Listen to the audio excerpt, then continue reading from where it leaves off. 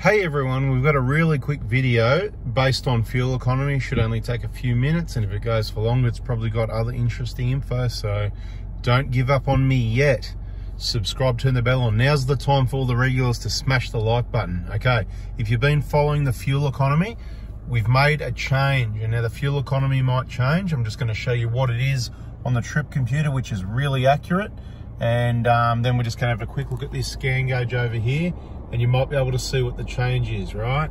The smart people that watch the videos know what I'm talking about, okay? So there's gonna be more cold filtered air and none of that dirty stuff on the 1GD FTV. A uh, bit of testing, we've done 60,000 Ks standard. Now let's see what happens with the fuel economy, the power, the responsiveness. I've just driven uh, about 100 kilometers, bit over 100 Ks. To me it feels the same. But anyway, um, obviously when you put the foot down, that thing closes up and you've got cold, clean, filtered air anyway. But just doing a bit of comparison testing and we might switch it back. So let's just quickly have a look on this trip. 10.9. This is the channel. This is the Prado information that's real. It's not me saying, oh, this is the best economy, this is the worst economy, this is what you get. You can see it for yourself.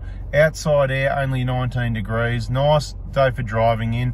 Average speed 83 k's, driven from Bendigo area to Greendale area. Okay, to give you an idea, country roads, 100k zones, 80k zones, this sort of thing. Okay, hour and 15 minutes driving, as you can see, 10.9 litres per 100 k's. Let's have a look what it is on the after reset screen. 10.8 with an average of 64 k's, 49 hours. If you want to join up the pieces of the puzzle, you go and have a look at the automatic, not the automatic transition playlist. What do you look at? The fuel economy playlist, of course, the fuel economy. And you'll be able to see the last one where we reset this. See that reset? I'm about to reset it. Bang, it's reset. Now, 10.8 before. Now, if we don't change anything and we keep driving the same for the next few months, the next 50 hours, we should have a reasonably fair comparison because nothing's going to change. But anyway, let's just see in case there's a big change, but I wouldn't expect much. Okay, after refuel, 10.6. So it's all pretty consistent. You see, since I refueled, 10.6. Since the reset, what was it? 10.8, I've forgotten already. And this drive, 10.9. So obviously this drive was less economical than the average overall. So as I've said, the 60K zones, the 80K zones, those slower speeds, work much better for fuel economy on the 1GD FTV because it's a smaller engine. The faster you go, the harder it has to work to maintain the speed, pushing that brick through the wind. And it is a brick compared to a normal sedan. Um, it is a big square type vehicle, large wind resistance.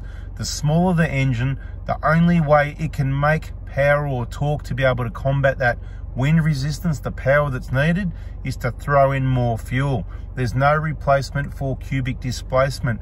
Watch the videos and you'll start to understand, okay? So, did you catch that?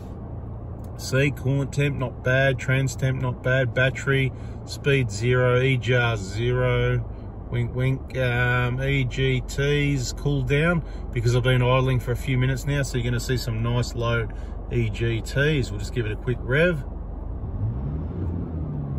Yeah, there you go, right? So nice cold clean air.